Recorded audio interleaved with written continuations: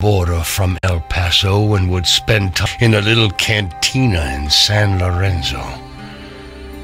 That's where I first laid eyes on Marissa. Oh, I knew she belonged to Juarez, but I wanted her for mine. Marissa had other ideas, though. She was in love with Thomas. They ran off together, and I tracked them to these very caverns. Brother William begged me to walk away, but oh, I was crazy with greed. I wanted Marissa. I wanted the gold. Oh, William got between me and Thomas and reached into his coat.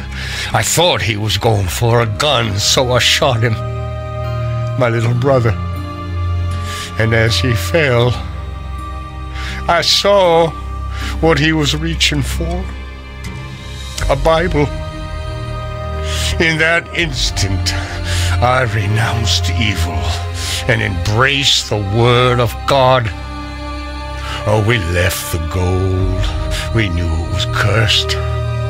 And I dedicated my life to serving the Lord. I tried to make amends, but my sins were too great.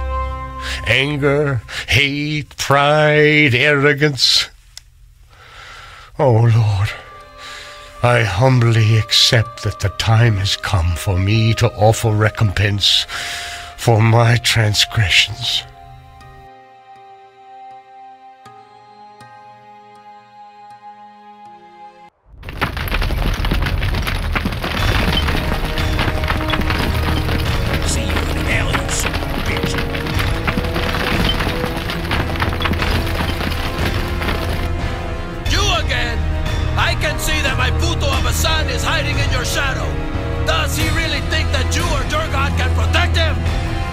I'm not bringing peace, but the wrath of the Lord